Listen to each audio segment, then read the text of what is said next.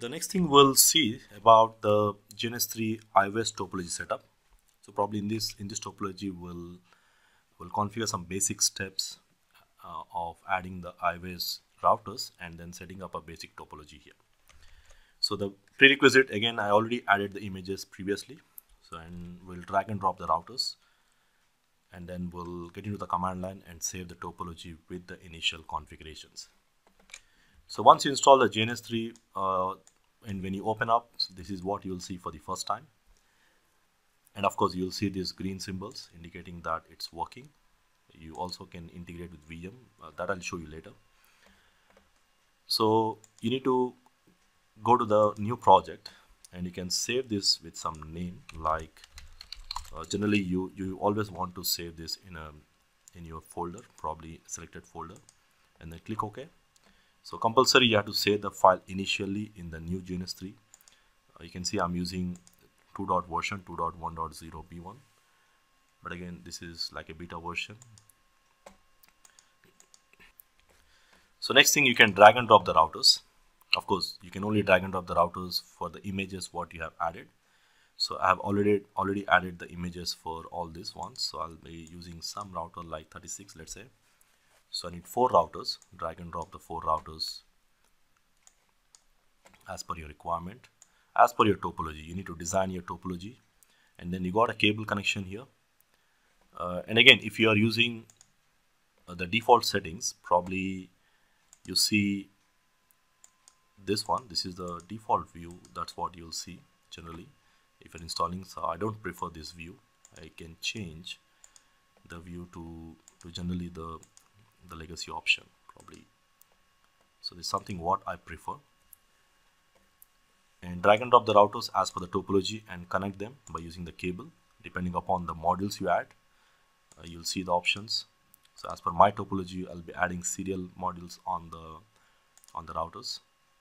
So if, if you just try to verify if, if you just want to verify the modules what I'm using you can select the routers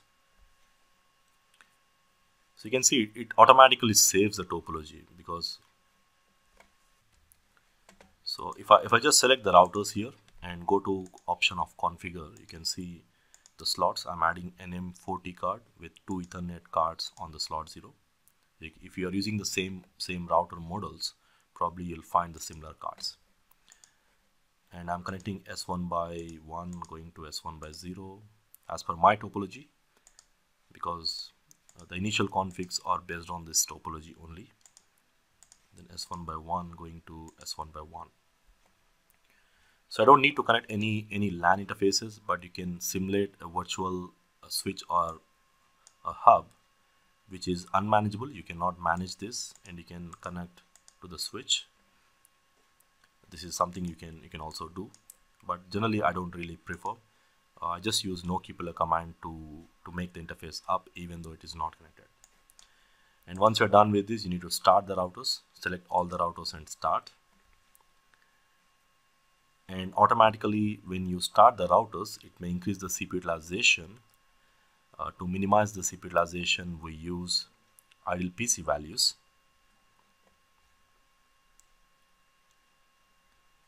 So also check the CPU utilization. Sometimes you see here uh, it goes to 100% uh, depends of depends if you don't set the idle PC values for that router images.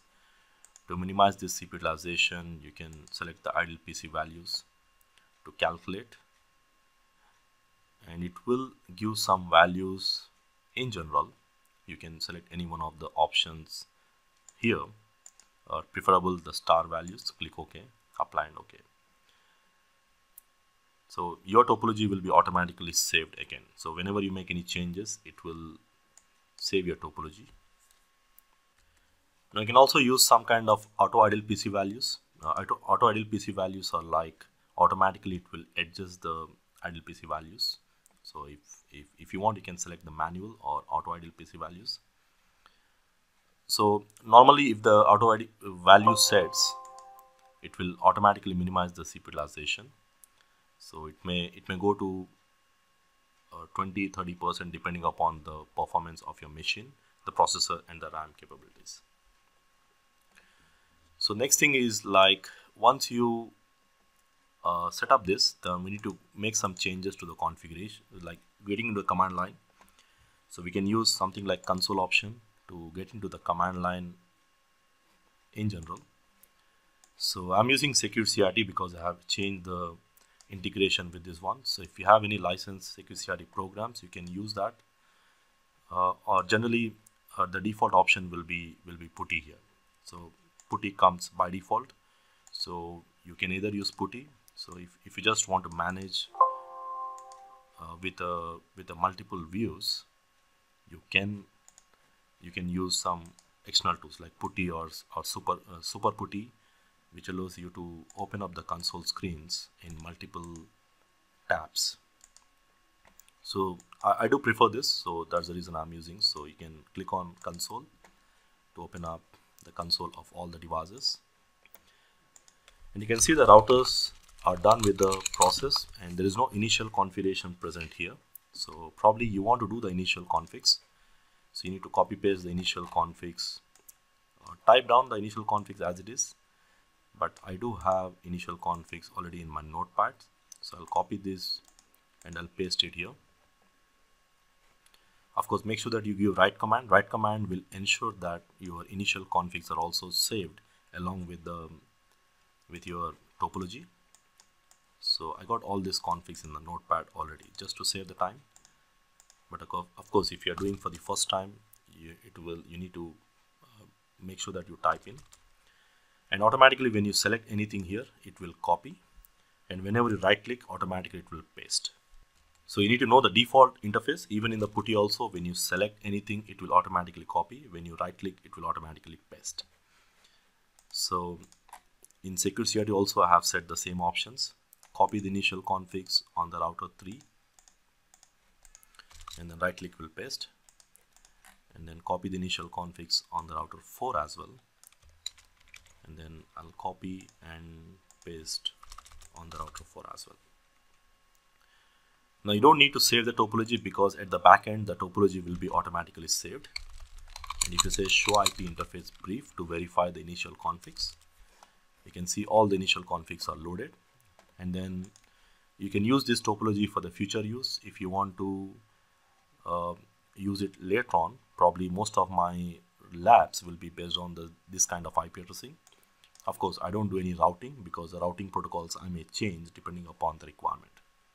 So now you can stop this topology and you can uh, stop these routers and close the topology and whenever in the future if you want to use the topology you can actually open up and you will be loaded with the same topology with the initial configs let me just quickly show you like I'll try to open up this GNS3 once again.